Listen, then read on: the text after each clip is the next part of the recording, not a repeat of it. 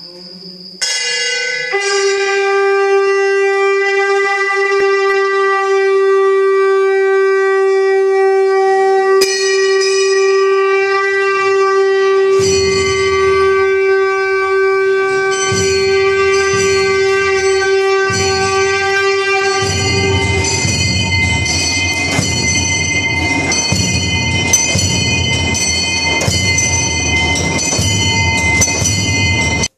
આપણું પ્રાચીન તીર્થ કહેવાય. રાવણના હાથથી સૌથી પહેલું ગોકર્ણ કહેવાય, કર્ણાટક પાસે પડે છે. રાવણે પહેલી વખત એની માતાને પ્રશ્ન કર્યો, માં, એવા કયા દેવ છે કે તત પ્રસન્ન થાય અને મનિચિત વરદાન આપે? એટલે એની માએ કીધું, બેટા, એવા તો એક જ દેવ છે, ત્રણેય લોકના માલિક છે. કૈલાસમાં ભોળાનાથ બિરાજમાન છે. એની દ્રષ્ટિમાં બધા એક સરખા. દેવ હોય, દાનવ હોય કે માનવ હોય. જો ભોળાનાથ પ્રસન્ન થાય, તો એમ કે બધું આપી શકે. એટલે રાવણ તરત નિર્ણય કરે, માં, તો હું કૈલાસમાં તપ કરવા જાઉં. એટલે એની માએ કીધું, બેટા, મને પણ લઈ જા ને હું પણ ભોળાનાથના દર્શન કરી લઉં. એટલે રાવણ પહેલેથી જીદ્યો હતો, કીધું કે, માં, તારે અહીંયા આવવાની જરૂર નથી. તો કેમ બેટા? તને ભોળાનાથના દર્શન જ કરવા છે ને? તો કે, હા. તો કે, હું ભોળાનાથને પ્રસન્ન કરી અને કૈલાસમાંથી અહીં લંકા લઈ આવીશ. એટલે પહેલી વખત રાવણ તપ કરવા જાય છે, ભોળાનાથ એની પ્રસન્ન થાય અને રાવણને વરદાન માગવાનું કીધું રાવણ કીધું, આપ મારી સાથે લંકા પધારો અને મારી માને દર્શન આપો. એટલે ભોળાનાથ વચનથી બંધાયેલા હતા ઠીક છે, તું જ્યાં લઈ જવા માગતો હોય ત્યાં લઈ જા. જ્યાં તું નીચે રાખીશ, ત્યાં હું બિરાજમાન થઈશ. આ વાત દેવોને ખરો પડી ગઈ. એટલે દેવો ભયભીત થઈ અને એક માયા કરે છે કે ભાઈ રાવણ જો આવી રીતે લંકામાં રાવણ લઈ જશે ભોળાનાથને. પછી મનિચ્છિત વરદાન પ્રાપ્ત કરશે. જ્યારે આપણે ભોળાનાથને મળવું છે તો રાવણ ત્યાં અને પરમિશન લેવું છે. માટે કંઈક ઉપાય કરો. દેવું પહેલું લિંગ છે કર્ણાટક પાસે ગોકર્ણ કહેવાય. ગોકર્ણ પાસે ત્યાં મુકાવે. અને બીજી વખત રાવણ ઉપાડવાનો પ્રયત્ન કર્યો એટલે ગાય, ગાયના કાન જેવું આકાર થઈ ગયો પછી ગોકરણ નામ પડ્યું. એ બીજી વખત તપ કરે છે. ફરી એવું જ લિંગ મળે, એ જે બિહારમાં બૈજનાથ ધામ કહેવાય, ઝારખંડ પાસે ત્યાં મુકાવે છે. ત્રીજી વખત રાવણ જે બળ પ્રાપ્ત કર્યું, એ પરલી બૈજનાથ ધામ મહારાષ્ટ્રમાં આવે. કારણ કે રાવણે જ્યારે આ દેવો સાથે વેરભાવના પેદા થઈ કે વારંવાર મારી સાથે દેવો છલકપટ કરે છે, માટે આ વખતે એવું વરદાન પ્રાપ્ત કરું કે મારી સમાન કોઈ બળવાન ન હોય. એટલે દેવ સાથે વેરભાવથી એને પ્રસન્ન કરવા માટે ભગવાનને પરલી બૈજનાથ ધામ જે જંગલની અંદર તપ કરે છે, અને ભોળાનાથ એની ભક્તિથી પ્રસન્ન થાય અને રાવણને વરદાન માગવાનું કીધું કે ભાઈ મને એવું વરદાન આપો કે મારી સમાન કોઈ બળવાન ભોળાનાથ તથાસ્તુ કરીને વરદાન આપે બળનું. આ વાત દેવોને ખરું પડી જાય એટલે દેવો નારદજીને બતાવે કે ભાઈ કંઈક ઉપાય કરો. રાવણ બળવાન થઈને બધાને પરેશાન કરશે. ઠીક છે, હું કંઈક પ્રયાસ કરું.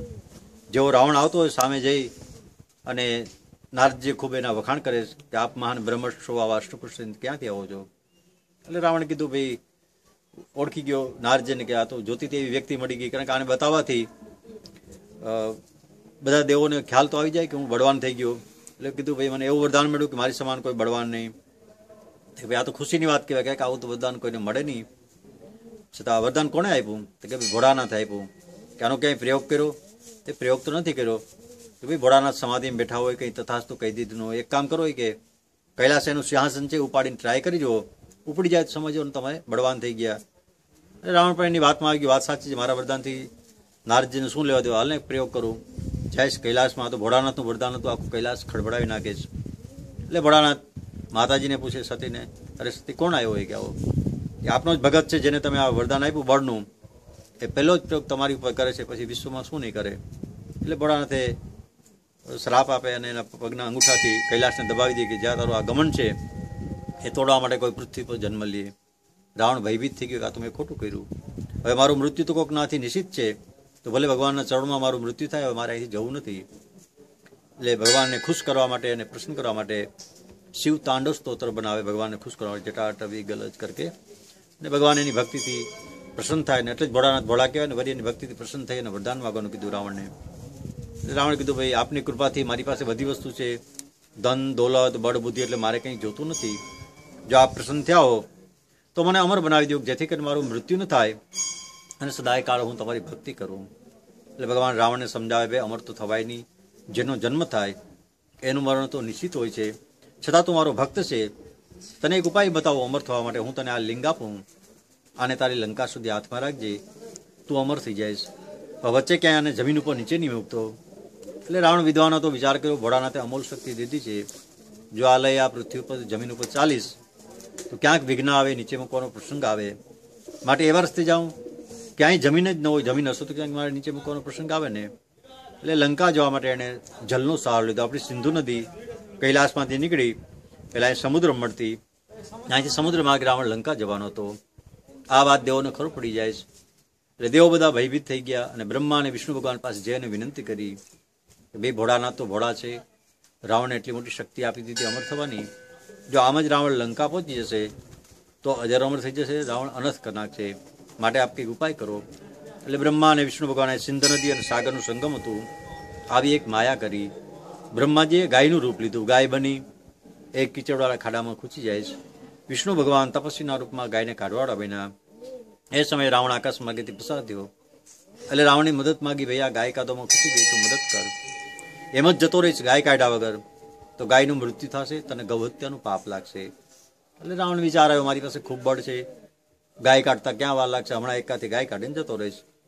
ગાય કાઢવા રાવણ નીચે આવે ખૂબ રાવણે ગાય કાઢવાનો પ્રયત્ન કર્યો. ગાય નીકળી નહીં, એટલે જુસ્સામાં જુસ્સામાં રાવણ ઓલું વરદાન ભૂલી જાય છે. બીજા હાથમાં જે લિંગ હતું અહીં થોડું ટેકરા જેવી જમીન હતી અહીં મૂકવા આવે છે. જેવું અહીં લિંગ મૂકી ફરી નીચે જાય છે, ગાય કાઢવા. ત્યાં જઈને જોયો તો બધી માયા તો અદ્રશ્ય થઈ ગયા અને ભગવાને તો આ લિંગ નીચે મૂકાવું તો પોતાનું કાર્ય પૂરું થઈ ગયું. જ્યાં બ્રહ્માજી ગાય હતા, ત્યાં રાવણે એક ઊંડો ખાડો જોયો.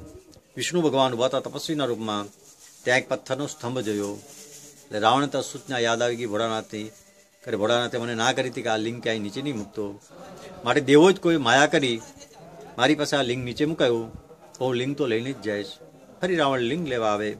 તો રાવણે કોટી લિંગ દેખાણા. એક લિંગની જગ્યાએ જ્યાં દ્રષ્ટિ ચારે બાજુ જ ભાસ થયેલો, ઓળખી ન શકે કયું લિંગ હતું. સદા પોતાની વિદ્યાના બળથી જ્યાં મૂકેલું લિંગ હોય, ઓળખી જઈશ ઉપાડવાનો પ્રયત્ન કરીશ ઉપડતું નથી, અંદરથી અવાજ આવે, આકાશવાણી થાય, રાવણ ઉપાડજે મેં તને સૂચના આપી. એનું તે પાલન ન કરવા નીચેની નીચે મૂકી દીધા. એટલે હું દુનિયાનો ઉદ્ધાર કરવા વિરાજમાન થઈ ગયો. તું હવે લંકા જતો રહે. તો રાવણે અમર થવું તું વિચાર કરે, જો લંકા જતો રહીશ ત્યાં તો એક દિવસ મારું મૃત્યુ છે. મારે અમર થવું છે, મારે લંકા તો જવું. ફરી અહીં તપ કરી અને ભગવાનને પ્રશ્ન કરે. એ સમયે કોટિલિંગ હતા, માયા હતી, બધી સમાઈ જાય ભૂમિમાં. મુખ્ય એક લિંગ રે ફરી વડાના એને વરદાન માગવાનું કે, ફરી પણ રાવણ એ જ માગે અમર થવાનું. એ સમયે ભગવાન એને નાભીની અંદર અમૃત રાખી દઈએ હે રાવણ, હવે આ વાત કોઈને બતાવતો નહીં મારી નાભીમાં અમૃત છે. જ્યાં સુધી કોઈને આ વાત નહીં બતાવ, ત્યાં સુધી તારું મૃત્યુ નહીં થાય. રાવણ અહીંથી અમર થઈ. લંકા જાય, પછી ભગવાન રામ સાથે જ્યારે યુદ્ધ થાય, એ વાત એના ભાઈ વિભીક્ષણને બતાવી દીધી, ભાઈ, મને કોઈ દેવ મારી ન શકે, કારણ કે મારી નાભીમાં તો અમૃત છે. આમ ભેદ બતાવ્યા પછી ભગવાન રામનાથથી રાવણનું મૃત્યુ થાય, મોક્ષ થાય રાવણનો. એ સમયે તેત્રીસ કોટી દેવ બધા અહીંયા આવે, ભગવાનની સ્થાપના કરવા, અને એક ઉત્સવ મનાવવા, કારણ કે રાવણ એટલી મોટી શક્તિ અહીં પ્રાપ્ત કરી હતી. અને દેવો પણ રાવણનાથી બધા મુક્ત થયા. એટલે તેત્રીસ કોટી દેવો આવી ભગવાન નારાયણના હાથથી ભગવાન ઉપર જલનો અભિષેક કર્યો. એ જલનો પ્રવાહ એ મોટું સરોવર હતું. સરોવરની અંદર જાય. એટલે સરોવરનું નામ દેવો નારાયણ સરોવર રાખે. એમાં બધા દેવો સ્નાન કરીશ અહીં ભગવાનની સ્થાપના કરીશ કોટિલિંગ બનાતા એટલે દેવો કોટેશ્વર નામ આપે. પછી અંતમાં દેવો અહીંથી વિદાય થયા એટલે દેવો એનો મહિમા બતાવ્યો કે ભાઈ કડીકાળમાં કોઈ જીવ મનુષ્ય યાત્રા કરવા ગયો હોય, એમાં આપણા અણસઠ તીર્થ છે, ચાર ધામ છે. યાત્રા કરતાં કરતાં કોઈ તીર્થ આપણાથી ભૂલી ચૂકે દર્શન વગર રહી ગયું હોય કે આપણે ત્યાં પહોંચી ન શીખ્યા હોય અહીંયા આવી કોટેશ્વર મહાદેવના શ્રદ્ધાથી દર્શન કરશે તો એને ચાર ધામનું પુણ્ય પ્રાપ્ત થશે. કોઈ કડીકાળનો એવો જીવ છે કે અહીં પર જઈ ન શક્યો હોય, સરોવરનું સ્નાન ખાલી ભગવાનના જેને દર્શન થશે, તો એને પણ ચાર ધામ જેટલું જ પુણ્ય પ્રાપ્ત થશે. કારણ કે આગળના જમાનામાં યાત્રા માટે પગપાળા જવું પડતું કોઈ સાધન હતા નહીં કે ચાર ધામની યાત્રા જલ્દી થઈ શકે. એટલા માટે એટલો બધો દેવો મહિમા આવ્યો બધા જ દેવો આવ્યા હતા તે કોટી દેવ, તો અહીંયા આવતી એને ચાર ધામનું પુણ્ય પ્રાપ્ત થશે. આ રીતે ભગવાન બિરાજમાન થયા. એને ત્રીજો યુગ કહેવાય. ત્રેતાયુગ દ્વાપર યુગ અને આપણે આ કલિયુગ ચાર જે આપણા પવિત્ર સરોવર છે, ચારે દિશાઓમાં, એમાં પશ્ચિમનું આપણું નારાયણ સરોવર કહેવાય. ઉત્તરનું માન સરોવર, બિંદુ સરોવર, પંપા સરોવર અને ચોથું આપણો નારાયણ સરોવર. છેલ્લે બધા દેવો વિદાય થયા. એટલે બ્રહ્મા અને વિષ્ણુ ભગવાને બધા દેવોને વિનંતી કરી કે ભાઈ તમારા કહેવાથી અમે રાવણ પાસે આ લિંગ નીચે મુકાયું. રાવણ શિવનો ભક્ત હતો. ભોળાનાથ અહીં બિરાજમાન થઈ ગયા. કડીકાળમાં એના ભક્તો આવશે. એ બધા અમારી નિંદા ટીકા કરશે માટે, એ વાત માટે નિવારણ કરો. એટલે ભોળાનાથે કીધું, તમે વિશ્વના કલ્યાણ માટે અને ધર્મની રક્ષા માટે આ કાર્ય કર્યું, તો આમાં તમારો મહિમા ઘટે નહીં. છતાં તમને એવું લાગતું હોય, તો મારી સાથે તમારો પણ મહિમા ગવાય. એની માટે ભગવાને જ્યાં નીચે માયા કરી ચરણ રાખ્યા હતા વિષ્ણુ ભગવાને. ત્યાં ચરણેશ્વર મહાદેવની સ્થાપના કરાવે બ્રહ્મા અને વિષ્ણુ ભગવાનનાથી. જે જગ્યાએ બ્રહ્માજી ગાય બેના એ ગયાકુંડ બ્રહ્મકુંડ તરીકે વિખ્યાત થશે. કોઈ પણ મૃત્યુ પામેલો જીવ હોય, એના અસ્થિ વિસર્જન કરશે. તો એને મોક્ષ ગતિ મળશે નીચે કુંડ છે, જ્યાં બ્રહ્માજી ગાય બન્યા. ત્યાં અસ્થિ વિસર્જનો મહિમા છે. ચરણ રાખ્યા ત્યાં ચરણેશ્વર મહાદેવની સ્થાપના કરી. એમાં સ્તંભ છે, એ વિષ્ણુ ભગવાનનું સ્વરૂપ કહેવાય, એની પ્રદક્ષિણાનો મહિમા છે. આ જગ્યાએ રાવણ લિંગ મૂક્યું કોટીલિંગ બન્યા. તેત્રીસ કોટી દેવો સ્થાપના કરી અને કોટેશ્વર નામ આ રીતે ભગવાન બિરાજમાન થયા. પહેલાં તો આ બધું સરોવર કહેવાતું, નારાયણ સરોવર આપણે ચાર ચાર ગાઉ પર મીઠું પાણી ભરેલું હતું. કારણ સિંધુ નદી અહીં સુધી આવતી. અઢારસો ને ઓગણીસમાં અહીંથી પોણા બસો વર્ષ પહેલાં આપણે અહીં મોટો ભૂકંપ આવ્યો. એ પછી આપણી સિંધુ નદી આવતી બંધ થઈ ગઈ છે પાકિસ્તાનમાં. અલાહ બંધ કે અલાહ એટલે કુદરતી જે જમીન હતી, એ આખી બહાર નીકળે, બંધ બની ગયું એટલે નદીનું વહેણ પાકિસ્તાનમાં રહી ગયું અને સમુદ્ર પાણી આગળ આવી ગયું. અત્યારે જે નાનો ભાગ છે એટલું જ સરોવર ચાર ચાર ગાંવ પર ફરતું સરોવર હતું. એ સમયે આ કોટેશ્વર મંદિરને ખૂબ જીર્ણોદ્વારની જરૂરથી હતી થઈ ગયું હતું. આપણે માંડવીની બાજુમાં ગુંદિયારી ગામ છે. ત્યાંનો સામાન્ય માણસ હતો, કંઈ હતું નહીં એની પાસે.